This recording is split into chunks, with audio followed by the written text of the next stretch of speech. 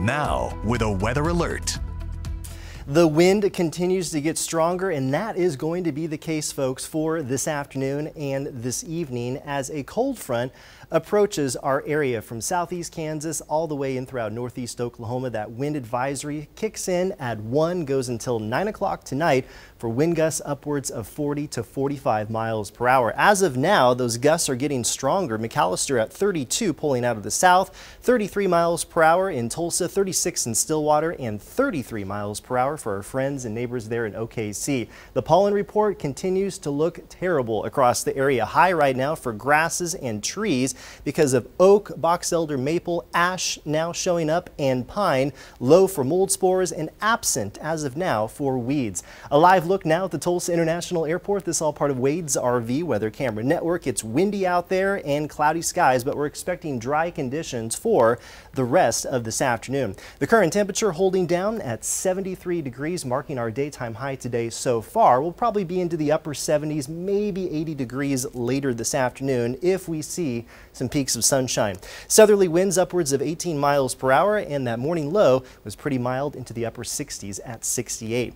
80 degrees in Ponca City and in Stillwater. We have clearing out towards the west, 74 in Bristow, and low 70s for our viewers in Muskogee. Timing things out on future track radar and the cloud cover the rest of this afternoon, mostly cloudy skies and just windy with dry conditions. But then we're expecting that dry line to maybe fire off a few showers and storms early this evening. That dry line is located to the west of OKC. That adds kind of a focal point for some lift in throughout the atmosphere. So possibly before and just after sundown, we could see some showers and storms, especially north and northwest of Tulsa, and those could be strong to severe. But then the main cold front comes down from Kansas overnight tonight. This is after midnight, so here's the cold front here. Showers and thunderstorms, that's our best bet for some wet weather overnight tonight, and some of that activity could be strong to severe as that presses on through eastern Oklahoma, clears the area by the early morning hours.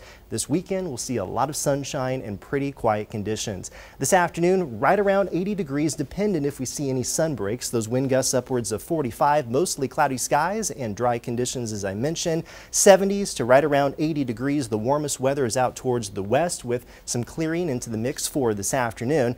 Into the upper 50s by early tomorrow morning. We're looking at a 100% chance of rain showers and thunderstorms overnight tonight as that cold front sweeps on through eastern Oklahoma. Take a look at those morning lows from the 50s to the 60s. The warmest air mass is off towards the south and southeast. Your latest 10 day forecast tomorrow at 79, bright sunny skies around 80 on Sunday, along with mostly sunny conditions. Tomorrow, 61 at 8 upper 60s at noon, into the upper 70s later in the day. And your extended forecast, another chance for strong to severe storms on Monday and Wednesday and Thursday as well. Temperatures in the 70s.